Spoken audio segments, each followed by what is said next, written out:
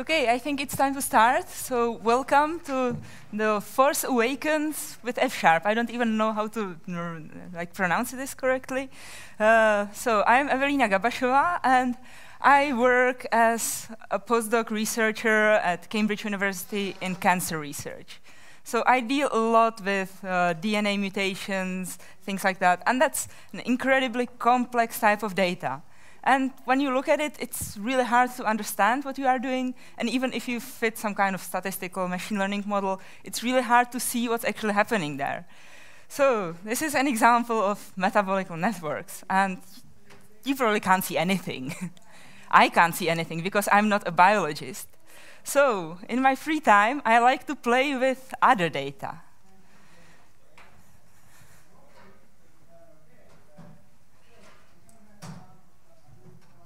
Bye.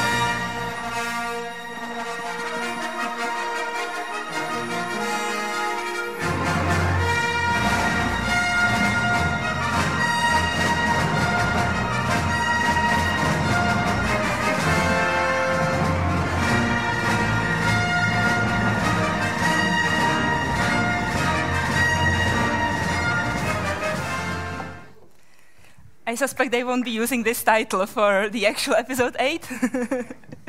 so, let's talk about Star Wars. Who likes Star Wars? yeah, thanks for coming. You are in the right talk right now. Uh, so, some time ago, I decided, well, let's analyze Star Wars. I actually started doing this right before the premiere of Episode 7, so there was a lot of hype around Star Wars. So I was thinking, so what kind of data can I actually analyze? And well, there are obviously the movies, but it's kind of hard to analyze movies, right? So the next data set that's available about Star Wars are actually the screenplays or scripts. And there are multiple different repositories online where you can go and download script of almost any movie you are interested in. And they publish it very quickly. So, for example, the script for episode 7 was there, I think, in January. I'm not really sure what's the legal status of that, but if you want to uh, look at it, you can. So I looked at the scripts, and this is an example of a script from episode 4, the original Star Wars. And the great thing about this is that they have a very standard type of format. So you can probably see that there is some title of a scene, and they always start with int or ext, meaning interior or exterior. Then there is some description of a scene, and there is a uh, like name of people speaking and what they are saying. And because we are programmers, we know that this is actually quite easy to parse, or if it has this type of structure, we can parse it. So I decided, well, let's look at interactions in Star Wars. And maybe I can even extract social network by looking at who speaks with whom in the scenes. So I went on and downloaded all the script files of all the seven movies right now. Uh, I don't know if I will continue with this uh, in the future, but I have seven of them now. And I looked at them, and because they are published online, they are usually in HTML. And this is how it looks. And that's also pretty nice, right? There is like a pre-formatted HTML block with uh, the scene name in bold, and then there is some description, and again, name in bold and in capitals. Oh, that's easy to parse. Oh, well, usually. Uh, so when I first started doing this, I ended up with a bunch of regexes because I wanted to match all the different types of how a name can appear in a script. But because I'm working in F-sharp, I would like to show you another way how to parse these things. I know if you have been to Scott Wlaschin's talk before me. He was talking about parsers. I'm not doing anything that fancy. But uh, when I looked at the structure of the script, uh, it's actually quite simple. Uh, but I, well, this is just an example of the standard format of the script, how it looked. But uh, I want to really write something that I can read. I don't want to deal with how it looks underneath. So what I used something that's called active patterns in F-sharp. And there you can write something like this. You just parse a screen, uh, like you split uh, the script into elements, and then you can just match each element here with a scene title or a name, and that's very readable, and you don't even have to know what's happening underneath. But I'll show you what's happening underneath. This is something called the active pattern in F sharp. So when you want to match something against some regex, you don't have to put the regex into a function that's actually doing the matching. You can just look at, uh, you can define something like this. This is called the banana clips operators. So you can uh, say that a piece of text is either a scene title or a name or something that I'm not interested in. And you can hide all the ugly regexes in here. And by the name, the, by the way, the regex for names is very complex because in Star Wars, like characters are named anything. Uh, you don't get people named C3PO in real life. So this had to be quite complex because it had to match all sorts of dashes, slashes, everything. And I don't want to care about this. Uh, for me, regexes are something that it's right only. I don't want to look at it again. So I can hide it in this kind of thing. So what this does is it takes the string as an input, and then it matches it against each of the regexes and returns this kind of thing, like scene title and text, uh, or the name text or word. And then when I do pattern matching over it, I don't have to care about what it does underneath. And this is readable. When I went back to my original implementation with all the regexes all over the place, I had no idea what's happening there. So uh, for me, this is the way to write parsers in F-sharp, uh, or at least for very simple cases. And if you want to play with F-sharp, definitely look at active patterns, because they allow you to hide the implementation details uh, and then you don't have to care about it in the more high-level functions. So I thought, now I'm set. It wasn't the case. so I tried to run it on all my seven different uh, script screenplays, and yeah, it was a trap. Because some of the files have completely different structure. For example, the names are not in bold, are not centered, they are at the beginning of a line, followed by a colon, etc. So I had to write another parser for this type of screenplays, and it was much more work, uh, as usual. And that's a general case in anything data related. You spend 90% of your time just cleaning up the data. And now, well, this also still has some kind of structure because all the names are in capitals at least. Well, you would think so.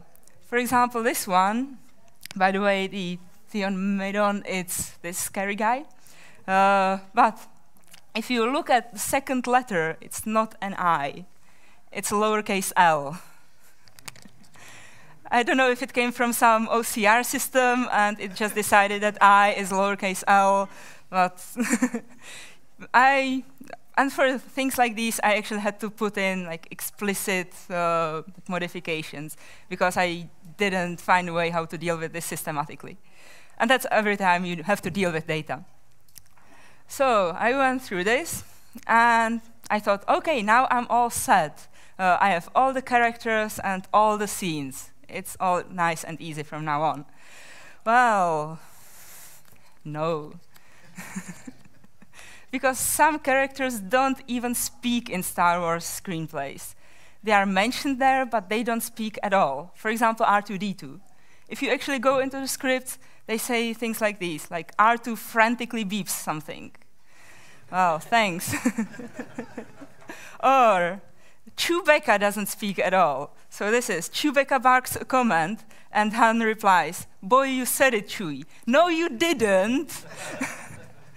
So actually, Peter Mayhew, who plays Chewbacca, I think he did a very good job playing him because with this type of instruction in the script, like what can you do?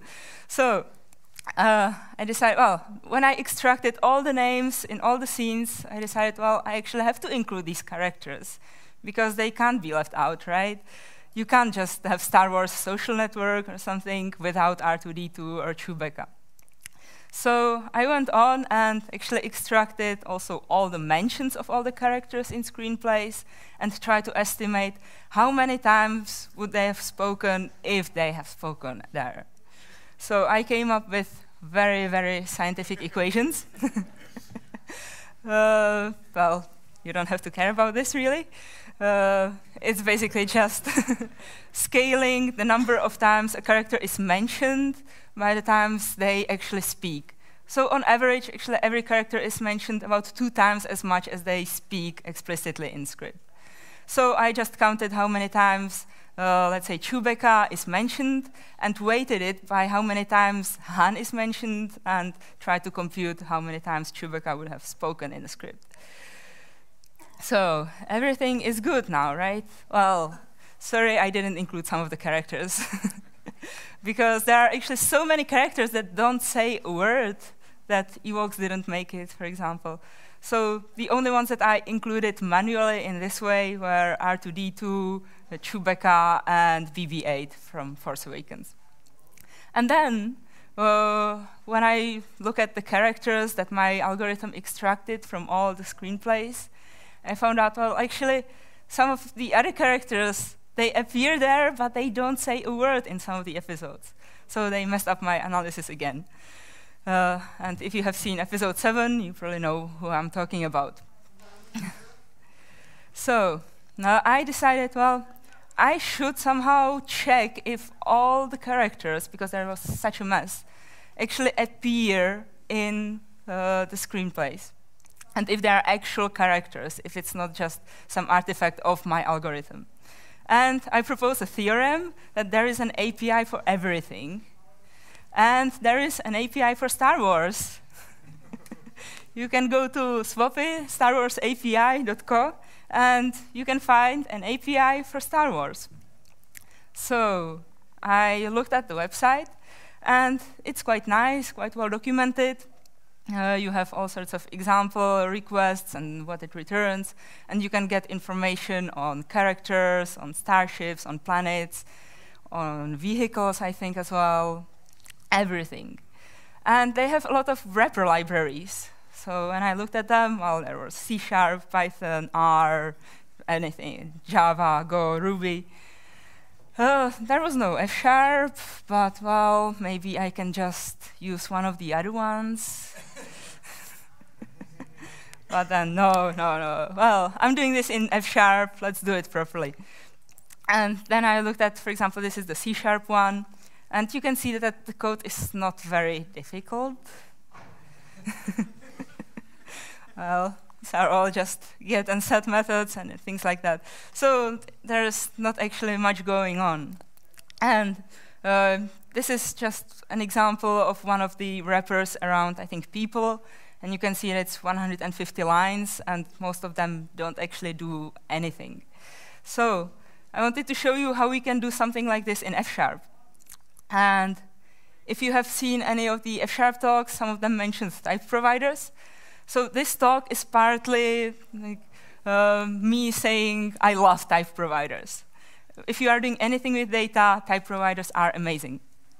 So I wanted to show you how I can use type providers to write something like all the wrappers that were there in all the different languages uh, in like a very small amount of code. So I'll just load the F-sharp data library, which contains some of the type providers. And now this is actually just an example request uh, to the Star Wars API. And what I get from this is some document that basically just answers the request. And what I will do is I will just, I, I don't have to read the documentation. I don't have to do anything. I can just take this and create a type provider.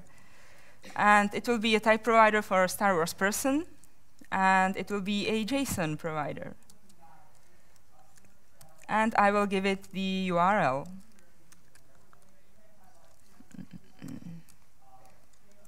Evaluate this, and I have basically everything I need right now. So now I can write a function to get me information about any person in Star Wars. So get person, and I will take an ID as a parameter, and now I will just call person load, and I will give it the request that I want. And I will give it the ID. Oh, I need normal brackets here.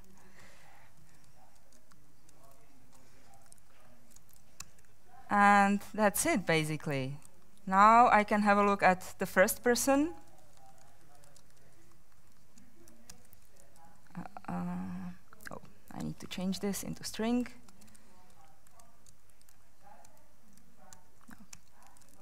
And now I get the information on the first person. And again, it returned a JSON, which is not very readable. So I can just type p dot and get all the information here in my IntelliSense, including the types of all the elements. So, for example, I can look at who the first person actually is. So I will look at name, I know that it's a string, and it's Luke Skywalker. Do you know what's the, well, let's say his mass? How much he weighs? Did you ever wanted to know something like this? Well, he weighed 77 kilos. a lot of very important information. But what I wanted to show you particularly is that basically in these three lines, I have everything that was there in the full big wrapper. And I don't have to care about it at all. I don't have to read any documentation, write any methods. This is all I need. So I actually went on and wrote a full wrapper around the API. And you can see it's not very like, imaginative code either. It's just defining the type providers and defining some of the functions. And that's it. That's everything. And on the same day that I discovered the Star Wars API, I actually just went back and sent a pull request, and now there is an F-sharp wrapper. Thank you. And in case you were wondering other random things about, F about Star Wars, I can show you some more information. For example, do you know what's the most common eye color in Star Wars characters? You always wanted to know this, right? So, the first most common eye color is brown. So, for example, Yoda has brown eyes. Mm. Who knew? The second most color is blue, and the third most common color is yellow. so, Darth Vader has yellow eyes. Wow, all the info important information. And you can also see, for example, in episode 4, the original Star Wars, uh, Luke Skywalker once walks into a prison cell and Princess Leia says, aren't you a bit short for a stormtrooper? So we can see, so is actually Luke Skywalker a bit shorter than average Star Wars character or not? Well, it's very easy. I just get his height, which is 172 centimeters. And I also downloaded information on all the other characters. And it's 174 centimeters on average. So yes, Luke Skywalker is shorter than average. so she was right. so all the important information that you always wondered about, right? so, well, let's move on. So if you want to look at it, it's on my GitHub, and you can get to it from the SWAPI website as well. And yeah, play with it. It's a lot of fun information. So now, what I had right now, uh, when I ran all the code that I was describing, I had characters, I had the scenes, and I knew that all the characters are actually appearing in the films. And then, you know, yeah, Star Wars was bought by Disney, and then I came across uh, this analysis, and they actually analyzed 2,000 screenplays, and they were looking at how much women characters speak and how much male characters speak. So I, and they were just comparing scenes and how much screen times they get. And they specifically looked at Disney, and it was sort of depressing because in almost all the Disney movies, men speak much more than women, uh, etc., even if it's about princesses and things like that. And because I had almost the exact same data, I thought, well, maybe I can replicate this using my Star Wars uh, data set. And again, type providers.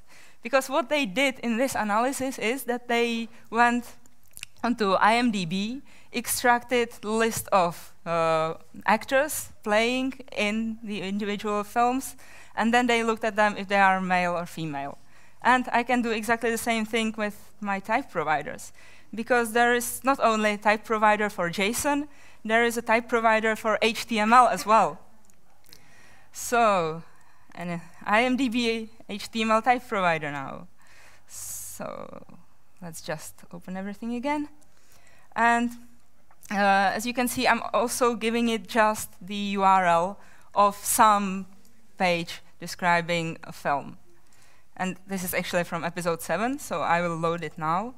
And let's, I don't even have to look at the website. Now I can do episode 7 dot, and I know that there are some lists and some tables. So I will look at the tables, and the tables are these. I don't have to go through the website at all. I see everything here in F Sharp, and this is all the code I really need to access it. So I can look at the cast, and they have the cast in credits order verified as complete. And here I have a nice printing function to actually look at it properly. So these are all the people that play something in episode 7.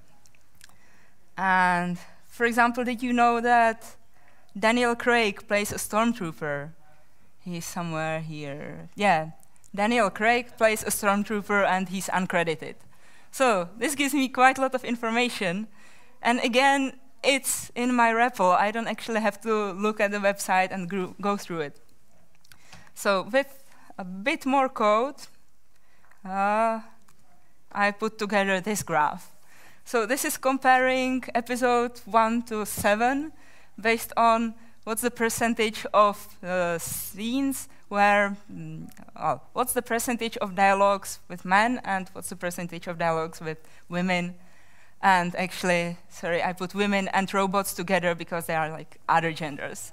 Because otherwise, there would be, it would be even worse. so, episode 7 indeed has more women speaking, but still almost 70% of the dialogue is men. Still better. The worst one is actually episode 4. but enough of this. Uh, I had right now, as I said, all the characters and their relationships and where they speak. So I decided to put together a social network by putting together like, characters that speak in the same scene. Uh, if they do, they are connected by a link. And I can visualize this, and because, well, what do you do if you want to visualize something nice and put it on the web? You use JavaScript. So I went for D3.js, which is an amazingly powerful library in JavaScript for visualization. You can write anything there. The downside is that you can write anything there because it's so powerful that you can't really learn it. You have to go online and look at various examples of what people did with it before so that you can copy it and put your own data into it.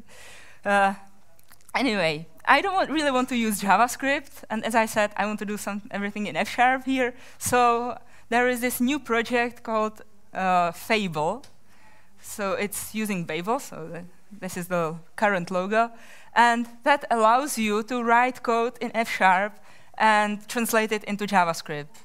I think it's called transpiling, is that the correct term? So it's a transpiler, and it's actually really neat. It's a very new project. I think it started about six months ago. And yeah, here on the right-hand side, you can see the code in JavaScript from an example on D3.js that I just downloaded from the web. And uh, you can see that most of the code on the uh, left-hand side, it's the code in F-sharp that's actually calling the D3.js library. And you can see that it's very similar, actually, right? Well, instead of var, you have let, but otherwise, all the function calls are very similar. And sometimes you have to deal a bit with types, but it's not very painful. And it allows you to basically just translate your JavaScript code into F sharp, and you can call any functions from F sharp and have all the type safety and everything. And I just wanted to show you also the translated code. Uh, uh, so this is how it translates the code into JavaScript. And you can see it, for example, this is calling something called the force uh, layout of networks.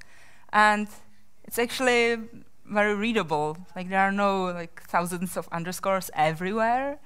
And you can go there and see what's happening. And that makes any debugging so much easier. So I actually went on and did all the things in Fable. And if you want to play with it, there are many examples online uh, by playing like, games uh, from F Sharp, translating it into JavaScript. There are also some uh, examples with Node.js. And it's really nice, really. Um, so let's go to the actual social networks that I promised. So this is the social network of all the Star Wars movies put together.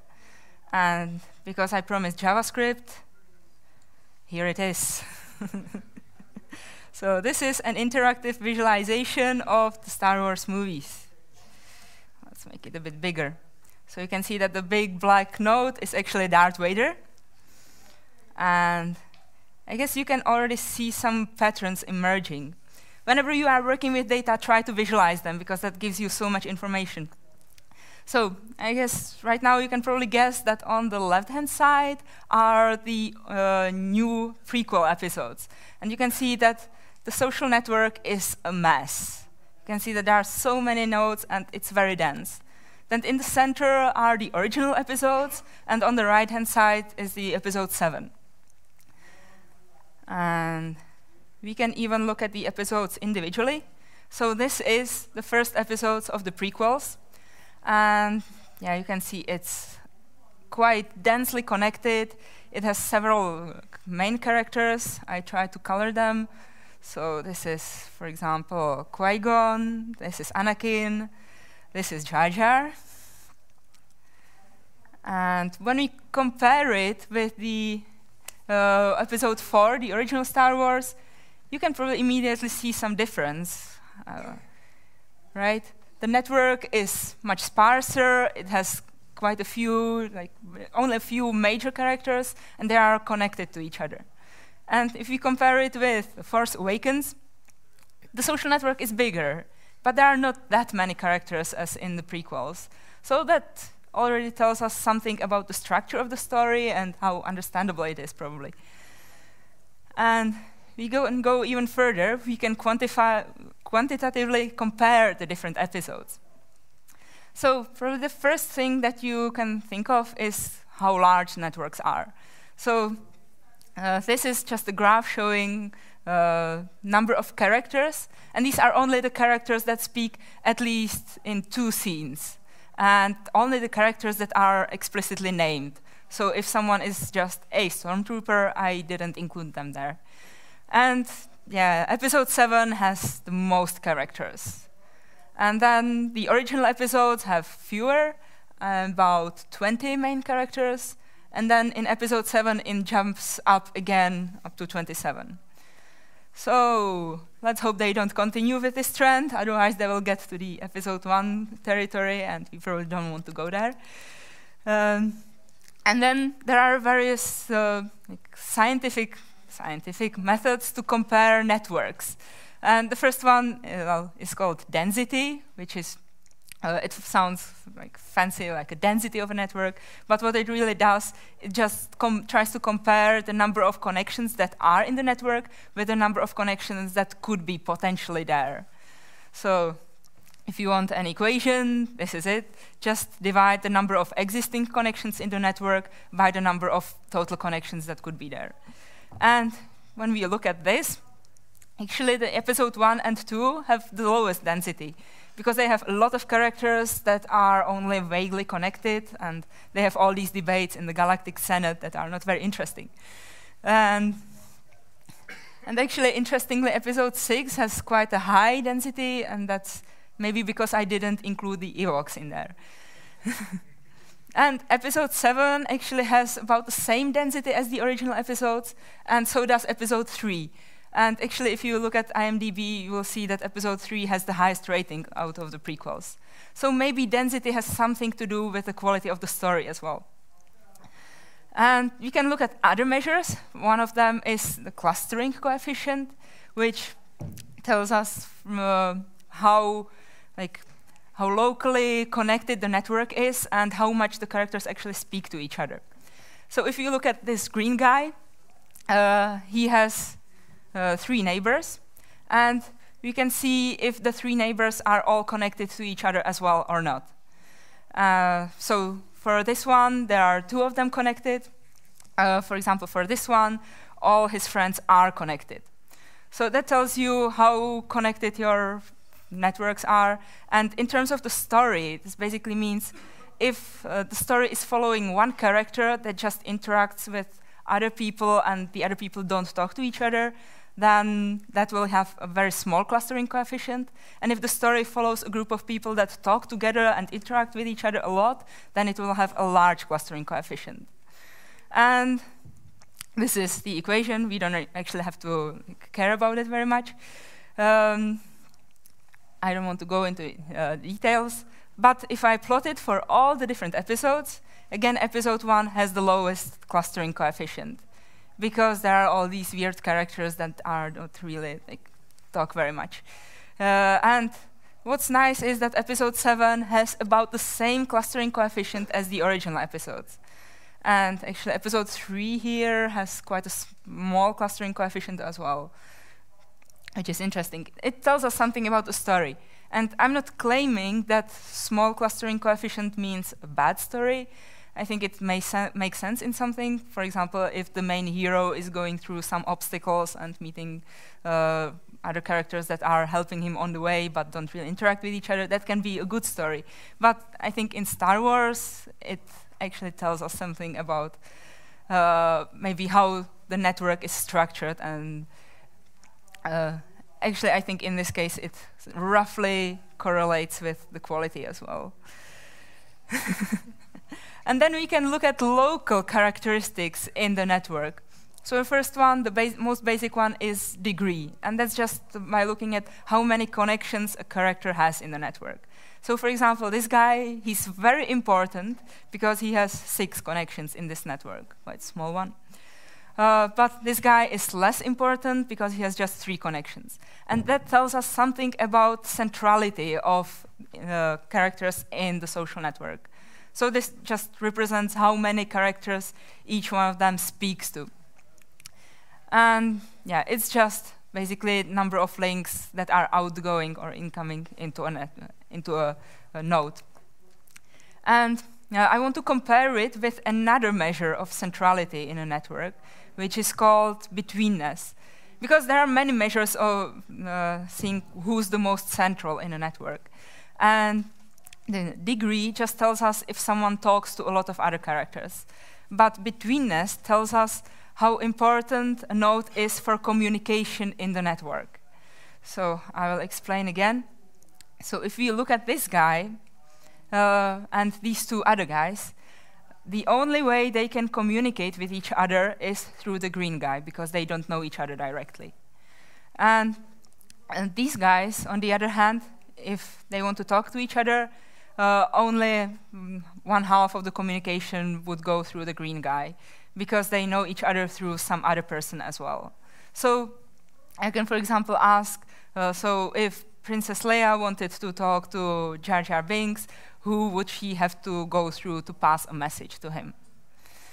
So that tells me how important a character is within the story. Like, uh, because some characters may be important just one in one part of the network, but if a character speaks to a lot of different characters across the whole uh, episode, then that means he's probably more important to the story. So again, this is the equation.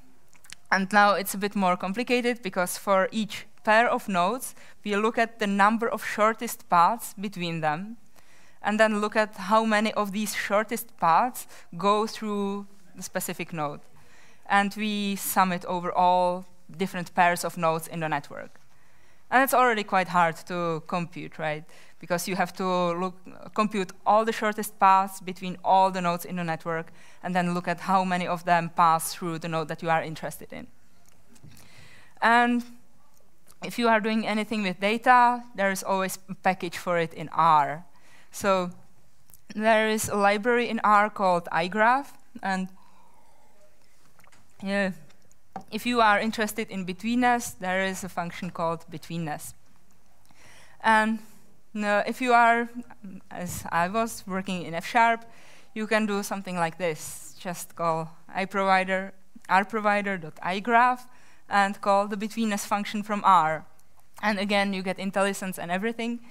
And this makes anything like this very easy because you do all the heavy pre-processing in language that you are more comfortable with or that's a bit more safe than R and call the algorithms that are already implemented there. And I actually do this quite a lot because R is a nice programming language, but just for data science. If you want to do any general programming, then it can get really, really painful. And in F Sharp, you get all the safety of type inference. So it really helped me when I was writing my parser, for example. And I just knew all the heavy data science in R, and I can pass data to it directly from F Sharp. So let's look at the centrality. So who is the most central in episode 7, let's say? So actually, the person who's having the most connections is Poe. He's one of the resistance pilots. And that's because he talks to a lot of people across the whole network. And he talks to all the other resistance pilots as well, and there are quite a lot of them. And the most second central is Finn, because he also like, talks to a lot of other people. And then Han, Chewbacca, and BB-8. And for BB-8, this is just an estimated number, because I didn't find him in the screenplays, as I was explaining. So does this tell you about something about who's actually important in the story? Well, sort of, but you might be missing some of the main characters in this. So this is uh, actually betweenness. And now you can see that suddenly Kylo Ren and Rey jumped up a lot. And that's because they are more important to the actual, they are more important by uh, connecting different communities within the network. So for example, Kylo Ren is very important because he is one of the few people that talked to, let's say, Han and Chewbacca and Rey, but he also talked to Snoke, which puts him into the center of the network a bit more. But also Poe talked to him, which already gave him quite boost in betweenness as well. So this tells you a bit more about who's important in the actual network.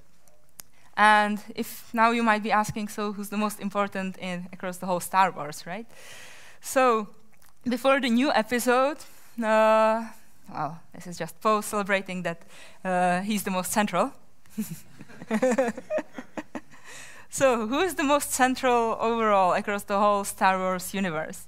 Well, before episode 7, it was this guy, because he was talking to quite a lot of people in the prequels as well as in the original trilogy, a little, although he appeared physically in only the first one of them. Uh, and also, what I did in this analysis when I got this guy, it was because, uh, well, I just looked at the names in the screen screenplays. And actually, there is, they are making a very big distinction between Anakin and Darth Vader. Because they never appear in the same scene, so they appear like two completely different characters.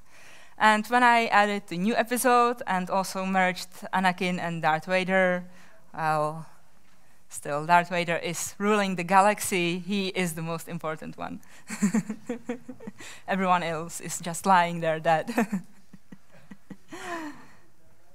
so, uh, also, I made a quick sample with Neo4j so if you want to learn something about Neo4j, you can, I have a link at the end, you can go there and play with it because it's a very nice data set and you can just extract connections between people.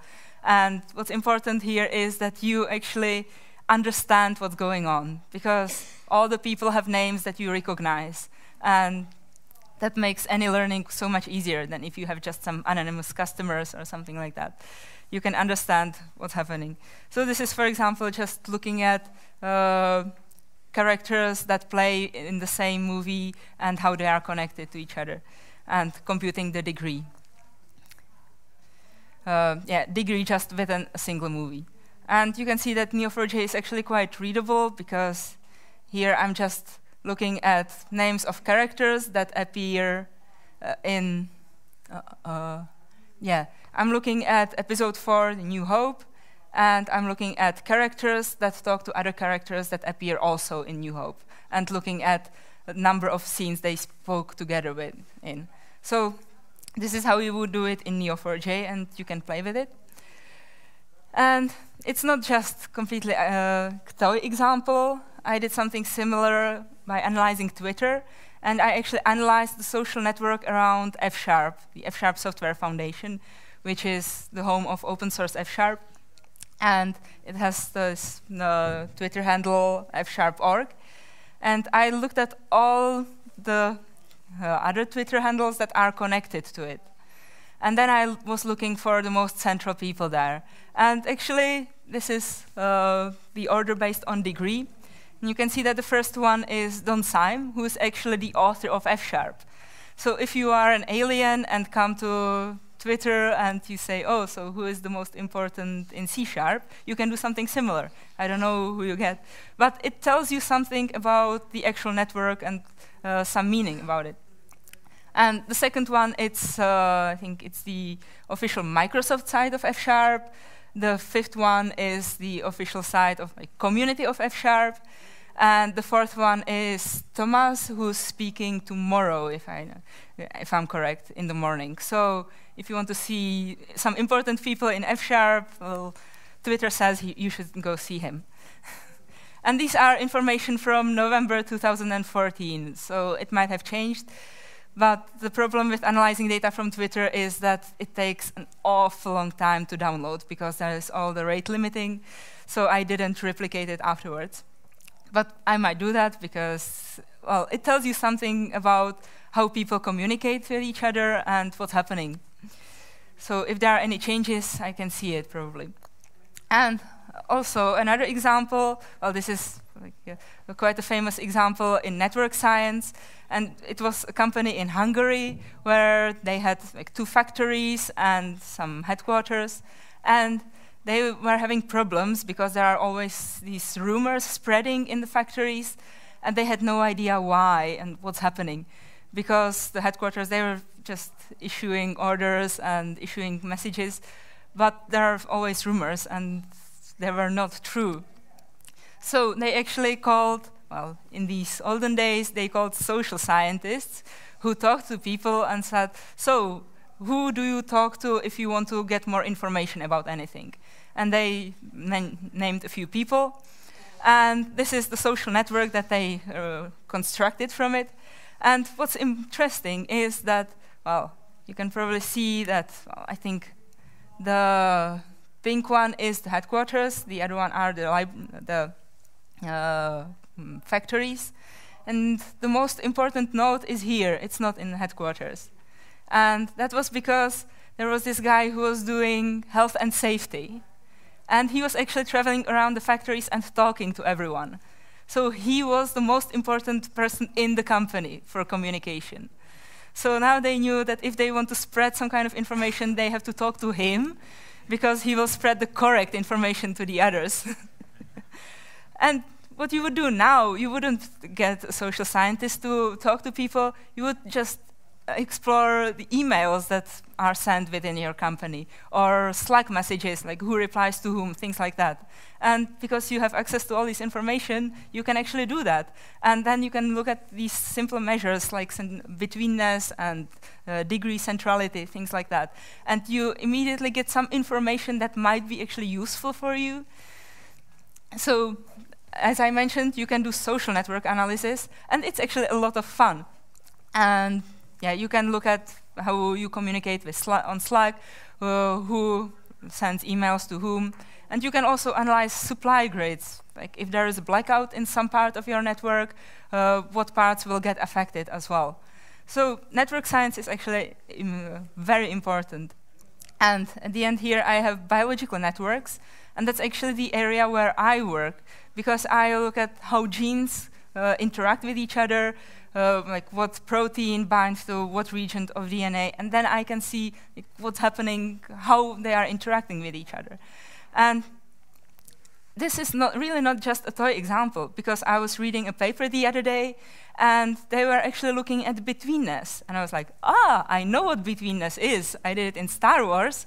And here they were claiming that genes that are important in cancer, that are tumor suppressors or oncogenes, that they have higher betweenness in the biological networks. And because I was analyzing these Star Wars networks before, I knew almost exactly what it means in terms of the actual network because I got a feeling for it by looking at very fun data set.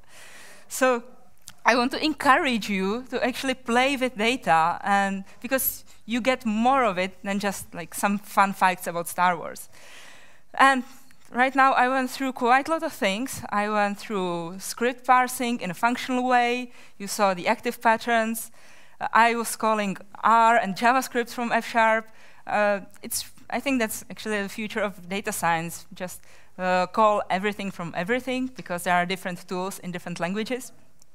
I was showing type providers. I showed you the HTML type provider and JSON type provider, and there are many more. There is one for SQL, there is one for, uh, I can't even think of all of them. Well, I use the CSV one because, well, CSV is the format for data science.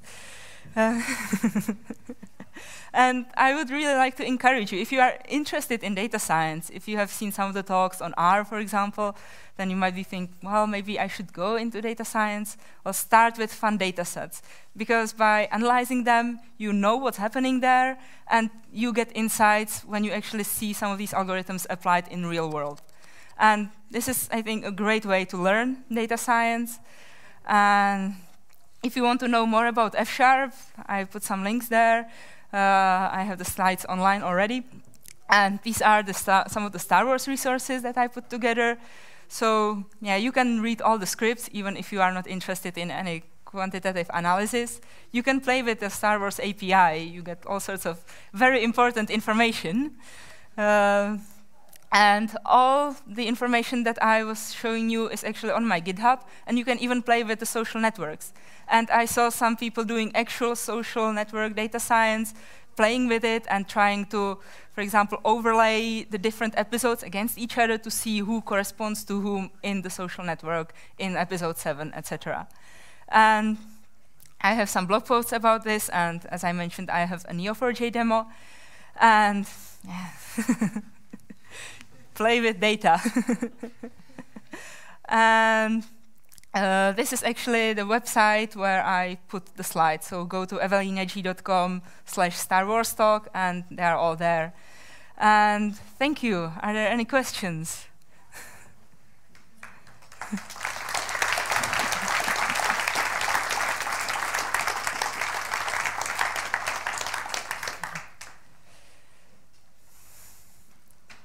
so, any questions? I can't actually see you properly. I can't see anything. Well, if there are no questions, then it's time for lunch, I guess.